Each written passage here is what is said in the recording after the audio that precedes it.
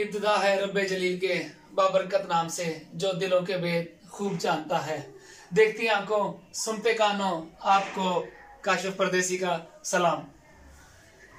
तो सलाम के बाद इंशाल्लाह, पहली आप लोगों के लिए खुशखबरी ये है कि जो मेरे सब्सक्राइबर बड़ी मोहब्बत के साथ और बड़े बेचैनी के साथ मेरे कम बैक का इंतज़ार कर रहे थे उनके लिए गुड गुड न्यूज़ ये है कि अलहमदिल्ला परसों मेरी फ़्लाइट है।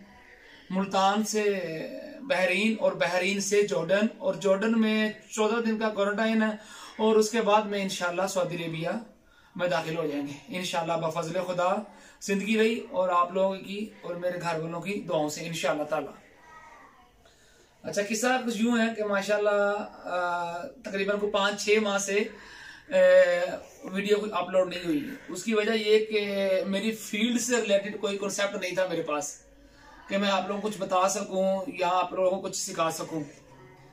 तो अल्हम्दुलिल्लाह अभी जो है ना कम बैक होने लगा है, बड़े पुरजोश तरीके से। और अल्हम्दुलिल्लाह जैसा कि आप देख रहे हैं असेसरीज मेरी भी मुकम्मल हो गई हैं। मेरे कैमरे और वीडियो कैमरा देख सकते हैं। स्टील कैमरा वैसे स्टील की कैमरे की तो ज़रूरत नहीं होती आजकल। लेकिन फिर भी जो ना, कहीं ना कहीं ब्लॉगिंग में ज़रूरत पड़ जाती है। और बाकी इंशाल्लाह दोनों कैमरे आप देख सकते हैं। यानी एसेसरीज माशाल्लाह, अल्हम्दुलिल्लाह, जो कमी पेशी थी, वो भी मैंने आके मजीद पूरी कर ली है। ताकि मैं अपने स्टूडेंट्स को, अपने चाहने वालों को, अपने सब्सक्राइबरों को ज़्यादा से ज़्यादा जो है ना, वो मालूम केबल ज्वाइनिंग फ़ील्ड के बारे में इंशाल्लाह दे सकूँ। और आप लोगों का तावन और आप लोगों का मोहब्बत इसी तरह मुझे चाहिए जिस तरह आपने मुझे पहले क्वेश्चन करके क्वेश्चन की सूरत में और वीडियोस को लाइक करके लाइक की सूरत में आप लोग देते थे। तो लास्ट पाँच, छह माह से कोई वीडियो नहीं आई और उसके बावजूद अल्हम्दुलिल्लाह सब्सक्राइबर मेरे रुके नहीं। नॉर्मली अभी तकरीबन एट हंड्रेड सब्सक्राइबर हो गया, जो कि मैंने फोर हंड्रेड पे लास्ट जो है ना वो वीडियो अपलोड की थी। और आप बिलीव करो कि 400 सब्सक्राइबर यानी 400 पे मैंने लास्ट वीडियो अपलोड की थी और अभी प्लस 400 यानी 400 टू 400 800 प्लस और ये जो है सब्सक्राइबर 400 आए हैं जनाब, बगैर किसी वीडियोस के। यानी मेरी पुरानी वीडियोस को लोग इतना लाइक कर रहे हैं, इतना शेयर कर रहे हैं तो क्वेश्चन भी आते हैं। कोशिश करता हूँ कि आप लोगों से टच भी रहूँ, आप लोगों के क्वेश्चनों जो है ना वो आंसर भी दूँ। तो इन ताला अभी आप लोगों के साथ अपना पूरी जर्नी भी शेयर करूँगा। चौदह दिन का क्वारंटाइन फोर्टीन डेज़ का क्वारंटाइन जॉर्डन में, जिसको उर्दन बोलते हैं। ठीक है, फिर मुल्तान से ट्रैवलिंग और फिर बहरीन से। इनशाला पूरा मैं जो आप लोगों के साथ थोड़ी थोड़ी वीडियोस बना के इनशाला शेयर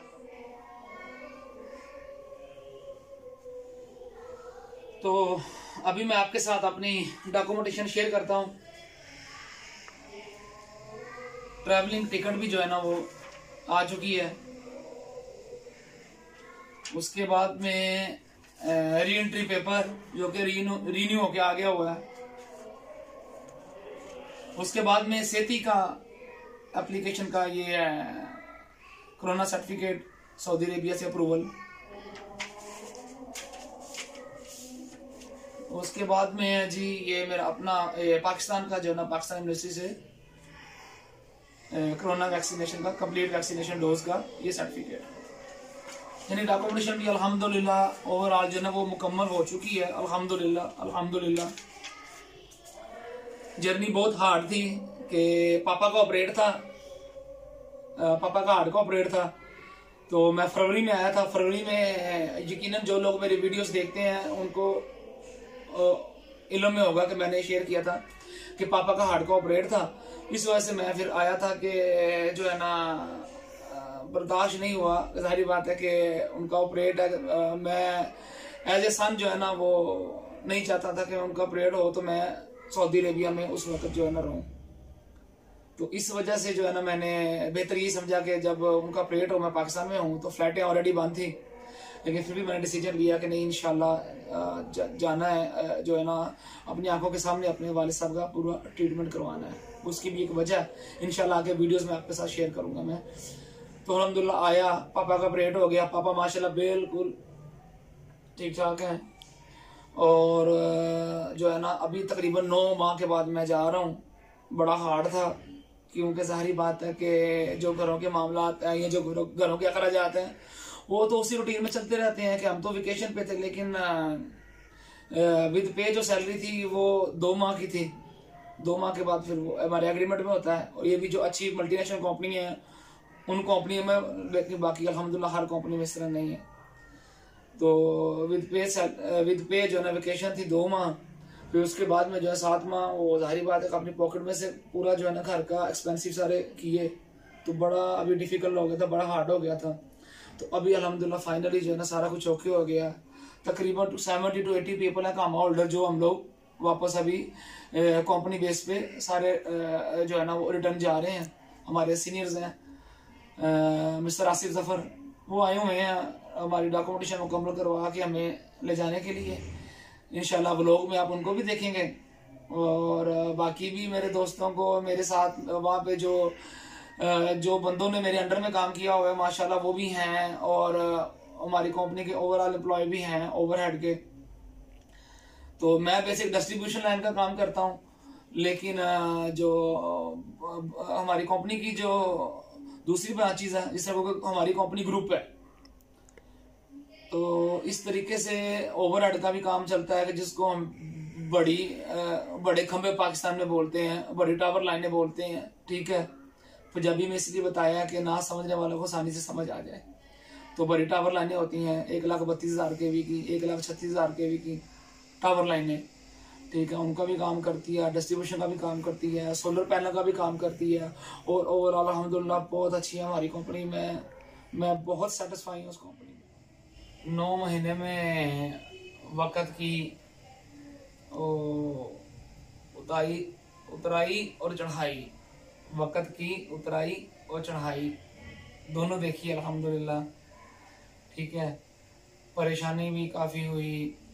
वो इस वजह से कि यार, जब आप इतने अच्छी मैनेजमेंट का हिस्सा हो ना, इतनी अच्छी कंपनी का कंपनी की मैनेजमेंट के अंदर आप जब काम कर रहे हो तो इस तरह का जो स्टेप है ना, इन हालात में सोच समझ के लेना चाहिए। ये शायद मुझे समझ में आया। क्योंकि दोबारा आपको इतनी अच्छी कंपनी भी नहीं मिलती, अगर आप किसी वजह से वापस नहीं जाते, और फिर दोबारा आप अप्लाई करते हो छः महीने, साल या दो साल के बाद, और जो है ना, इतनी अच्छी कंपनी भी नहीं मिलती, और लक भी हर दफ़ा साथ नहीं देता। तो अल्हम्दुलिल्लाह अल्हम्दुलिल्लाह, मेरी मैनेजमेंट बहुत अच्छी है, मेरे सीनियर्स बहुत अच्छे हैं जिनको यकीनन मेरी ज़रूरत भी थी, और उन्होंने वापस भी बुलाया, अल्हम्दुलिल्लाह। और काम की बेस पे एक्सपीरियंस बेस पे अल्हम्दुलिल्लाह वो लोग इज़्ज़त भी बड़ी करते हैं रिस्पेक्ट भी बड़ी देते हैं। और काम तो आप देख ही चुके हैं, अल्हम्दुलिल्लाह। आगे भी आप मजीद देखेंगे, अभी बहुत कुछ है आपको दिखाने के लिए और बहुत कुछ है आप लोगों को बताने के लिए। इनशाला आगे मैं आपके साथ अपनी जो डिप्लोमे वगैरह हैं, वो भी शेयर करूँगा। और उसके बाद में, जो मैंने आपको बताया था कि मैं पाकिस्तान आया और वालिद का परेड था और मैं क्यों आना चाहता था? वो भी इंशाल्लाह आपको बताऊँगा क्योंकि आज से तकरीबन अठारह साल मुझे हो गए हैं और तकरीबन सोलह साल पहले मेरा वहाँ पे एक एक्सीडेंट हुआ था सऊदी अरेबिया में, जिसमें कि ये मेरी, ये राइट लेग पूरी फ्रैक्चर हो गई थी। ये लेफ़्ट लेग लेग जो है ना, इसके जो पाँव की दोनों फिंगर जो है ना, ये फ्रैक्चर हो गई थी। और बड़ा मैंने जो है ना वो टफ वक्त गुजारा है बहुत बहुत तकलीफ़ से वक्त गुजारा है। कि जिसकी दर्द आज भी मैं मैं, मैं महसूस कर सकता हूँ।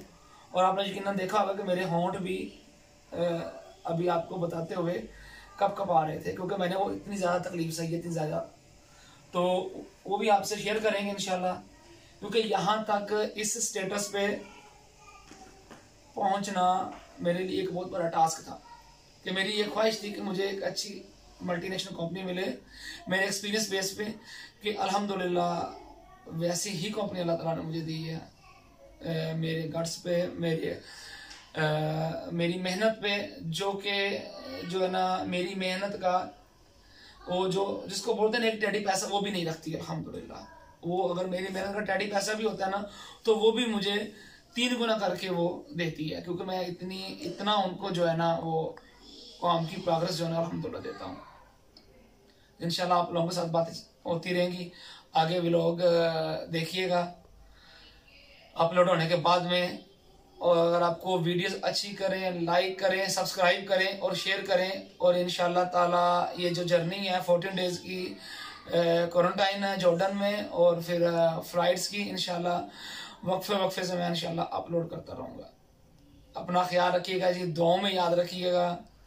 इसी के साथ काशफ लाइफ विद काशफ परदेसी को इजाज़त दीजिए। अल्लाह हाफिज़। अलैक्म